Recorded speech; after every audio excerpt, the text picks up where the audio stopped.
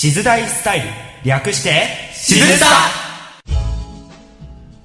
この番組はあなたの未来を開く古庄自動車学校の提供でお送りします。時刻は5時24分頃です。改めましてこんにちは。しず大スタイル略してしずスタ。この番組は静岡大学としず大生の様々な情報をお届けしていく番組です。では今回のパーソナリティはお久しぶりです。私村野ひろことアルファとはい。さらにお久しぶりです。ミドルこと竹本亮太です。ろしくお願いしますお願いします。あの僕はそうですねまあ最近ちょっとショックなことがありましてはい。あの、ウォークマンありますよね。パソコンから音楽を入れたりして聴ける。はい。あの、ウォークマンに、あの、パソコンに、あの、ケーブル接続して、はいあの、曲を送る途中で送る、送ってたんですよ。はい。そうしたら、あのちょっとすごい読み込みが長くて、はい。ちょっとイラついて、そのケーブル引っこ抜いたら、そのウォークマンの曲が全部消えちゃったっていう事件が ありまして非常にショックなんですけど、非常にショックっていうのはわかるけど、ごめん、俺どう反応していいかわからない。そうだよね。うん。まあ、とりあえず、今日はなぜこの話をしたかというと、まあ、音楽ですよ。音楽ですか？芸術の秋とか言いますけど、はいまあ芸術なんでもう年中通して芸術でありなんですよ。秋限定しなくていいんですよ。本当に。はい。ではそこであの、今回はあの、き音楽を勉強している学生さんをゲストに迎えましたので、じゃあお話を伺っていきたいと思います。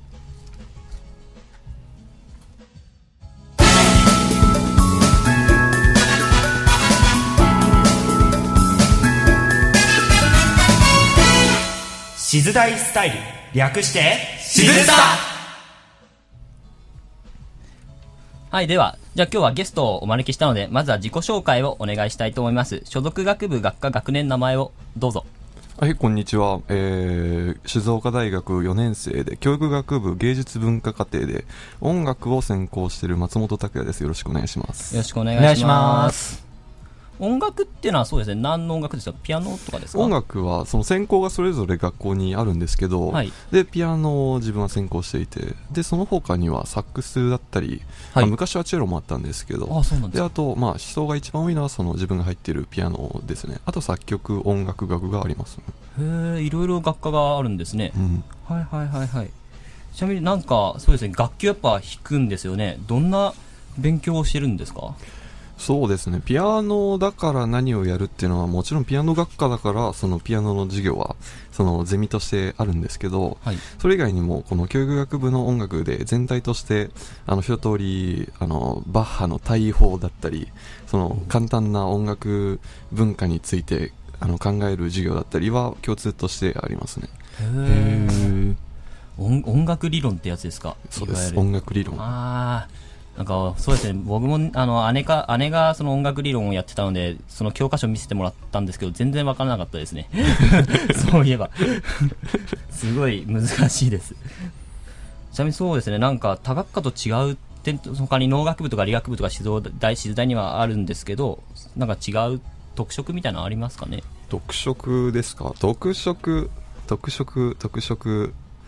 なんかそういえば試験で、やっぱあの、楽器の演奏があるって聞いたんですけど。あはい、そうですね。特色、そうですね。一番大きいのといえば、今4年なんですけど、はいはい。みんな卒論で追われてる時期に、この音楽の、音楽文化の家庭の人は、あの、卒業演奏っていう形で、はい。あの、試験が卒論の代わりになってるんですよね。それ結構特色だと思いますね。ああ、面白いそうなん。ですか。うん。へじゃあ今も先輩は練習したりしてるんですか？そうです、そうです。いやーピアノで、すねその、試験が8分から10分程度の曲をアンプしてやるんですけど、はい。結構長い、長いんですよね。長いですね。結構それを。なかなかです。え、覚えられるもんなんですか？まあ、それはまあお姉さんが、まあ、辿ってきた過程と同じで、なるほどそうで。すよ。あ、失礼。えっ、と、アルファの、えっ、と、お姉さんも、えっ、と、なん音楽をやられてたんですか？そうですね。僕の、あの、この、今日ゲストの松本先輩ってのは、っていう方は、すみません。という方は、あの、ぼ僕の姉の後輩に当たる方で、はいあの、今日あの、時間をいただいて、ゲストなるほど。そういうつながりで。はい。実はそうなんですよ。実はそうなんです。はい。それ先輩は、なんか、そのピアノ学科っておっしゃってましたけど、おっしゃってましたけど、なんか作曲も手掛けるそうですね。はい。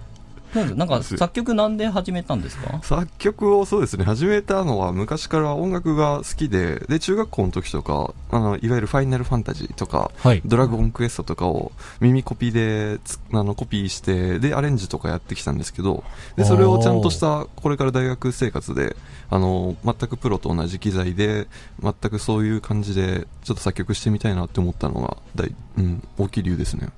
へえなるほどやっぱアレンジするっていうのは何ですかね？えっ、と、いろんな CD とかいっぱい聞いて、うんそれで、えっ、と、そこから、まあ、インプットした、えっ、と、メロディーとかを、まあ、そういう風に、ちょっとアレンジしていくっていう感じなんですか？ああ、まあ確かにそうですね。メロディー自体は別にそんな勉強とかじゃなくて、はい自分の出したい音を出せばいい時もあるんですけど、どうしてもこのオーケストレーションで言って、オーケストラを組み立てる時、例えばそうやってゲーム音楽みたいな、あの、オーケストラを組み立てる時は、そのいろんな CD だったり、いろんなその音楽理論を勉強して、あの、ストリングスの、あの、バイオリンみたいな弓の動きだったり、そのピアノはピアノで、あの、効果的な使い方を、そうそうやって勉強していくのは、まあ必要だったんですね。なるほあど。ー難しいなんか難しいですかやっぱり どうなんですかねなかなか、うん、あの、うん、答えづらい感じがきましたね。すみません、なんか、やっぱ、いや、その作曲を勉強してれば、誰にでもできるということですかね。あでも、まあ、その、いわゆる編曲だったり、その知識が必要なところは、結構、こう、枠が決まってるんで、そこは、まあ、努力次第ではできると思います。ああ、なるほど。うん。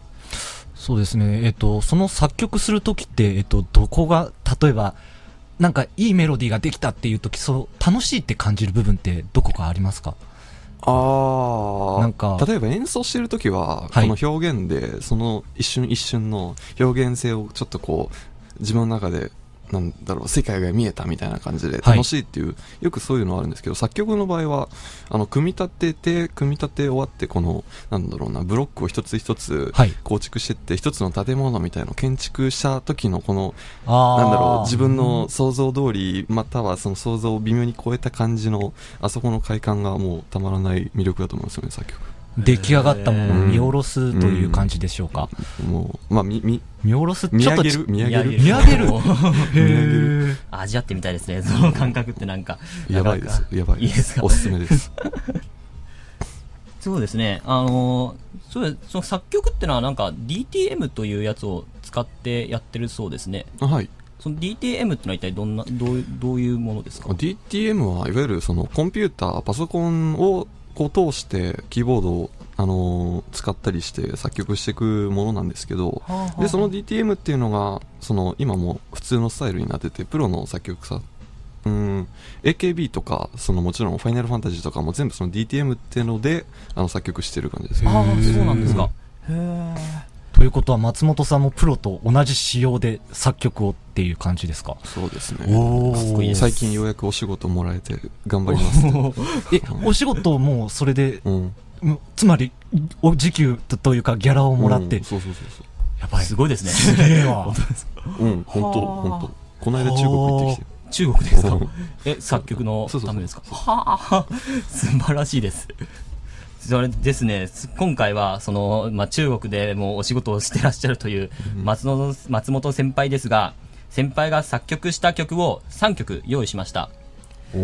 で、まずそうですね、あの、1曲目からでは流していきたいと思うんですけど、その1曲目、なんか、保険の CM みたいなことを言ってましたよね。あそね。はい。それはどんな感じで作ったんですか？これはまあ別にタイトルはおふざけなんですけど、はい。要はあの、先ほど言ったファイナルファンタジーとかって結局オーケストラの音源があって、はいで、今回のその1曲目のやつは全くそれと同じ音源を使って、あの、そうやってオーケストレーションを作った曲になってます。はいはいはいはいはい。では、じゃあその、その曲を、じゃあその曲を一曲ではお願いします。「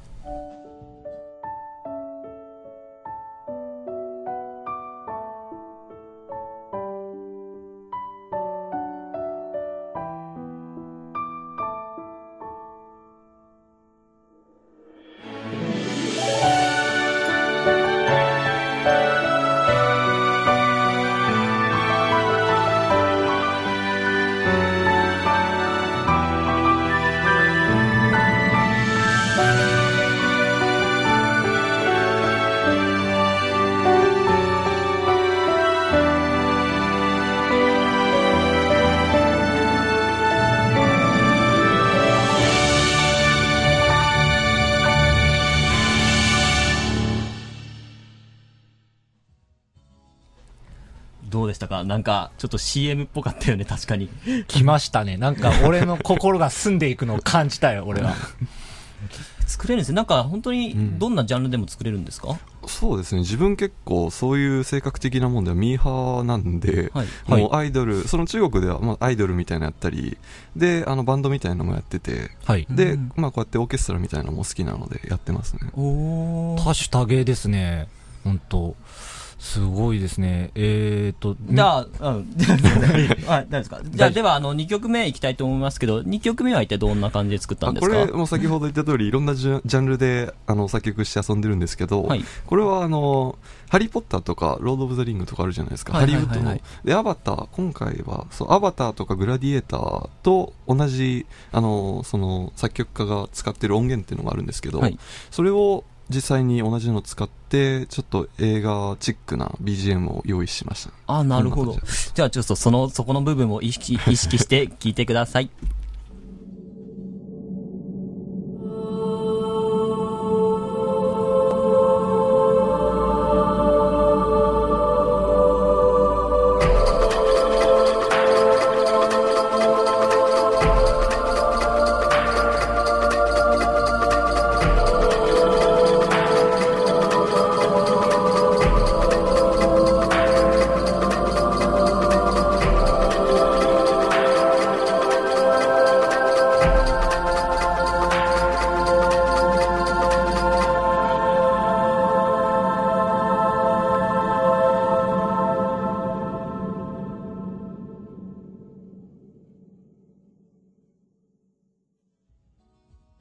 で聞いたような感じの音でしたよね。はい。なんか、敵がやってくるぞというか、なんでしょうね。ジャングルの中で、こう、ガサガサガサガサって言って、それで前がパッて開けて、なんかすごい前には壮大な自然があるみたいな。俺は そういう情景が浮かびました。そっちで来ましたかすごいおなんか想像力、なんかちょっとい、や周りには結構そのオープニングみたいな来たぞ映画みたいな感じに、うん、みんな感じてたんですけどそうそうきましたねいい解釈するやっぱ感想はいろいろなんですねう。んすごく面白いです。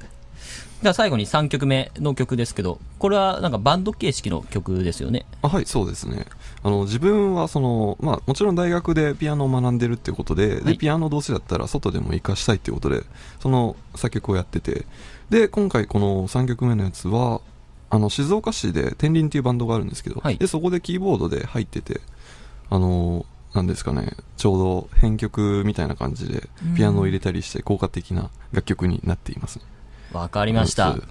じゃあタイトルは約束の光うんですよねそうです。先輩があの、最初キーボードを弾いてるそうなので、そこも意識してお聴きください。「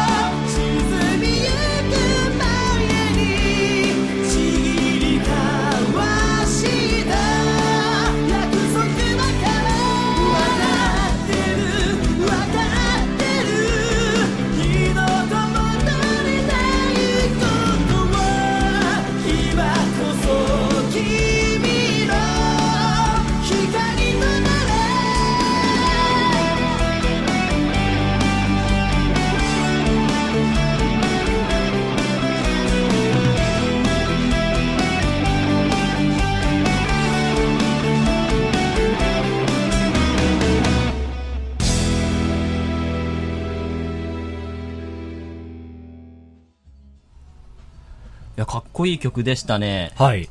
本当に。そう、これも先輩全部作ってるんですか？まあ、この曲は編曲なんですけど、あ編曲ですかまあうんいや、かっこいいですね。本当に羨ましいです。羨ましい限りです。本当に。僕なんか全然本当音楽のおの字も知らない男ですからね。ちょっとまあ恥ずかしいというか羨ましい限りです、本当 そうですね。先輩はそうですね。また、さらにその作曲の勉強をするために、んまあこれからも勉強を続けていくんですよね。はい。で本当に 頑張ってください。頑張ります。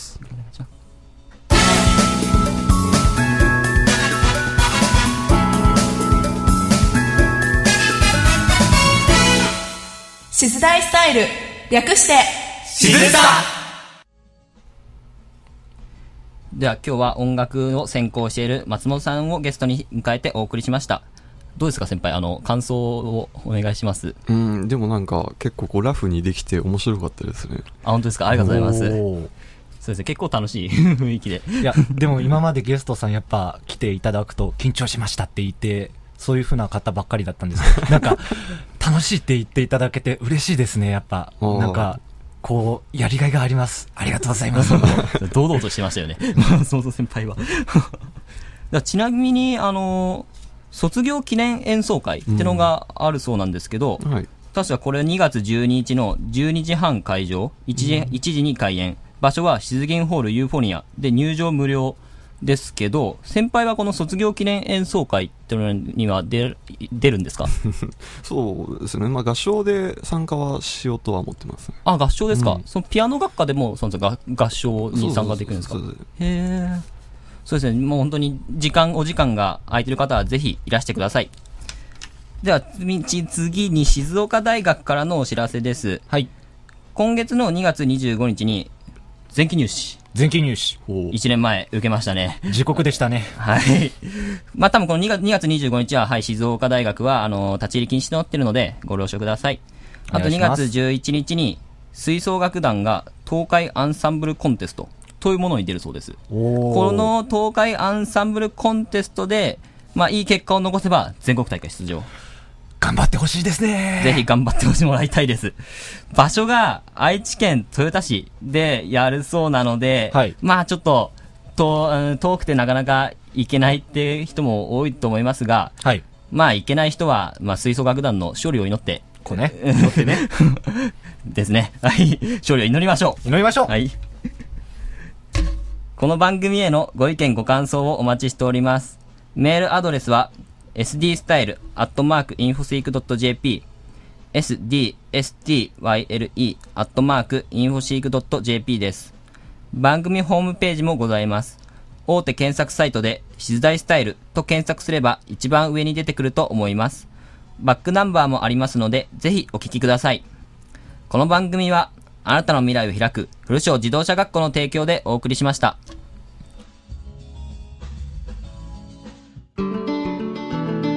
あのすみません手相を見てもらいたいんですけどわかりました。ん？あなたは今、どの自動車学校に通うか悩んでいますね？えわかるんですか？それなら、卒業生の事故率が低く、指導員が親切で楽しい古庄自動車学校にしなさい。はいそうしますところであの以前どこかで会ったことがありません？ああ大学の古庄さんのブースでティッシュ配りを お問い合わせは0120-155-168まで。古庄自動車学校で君も今すぐ免許をゲットだ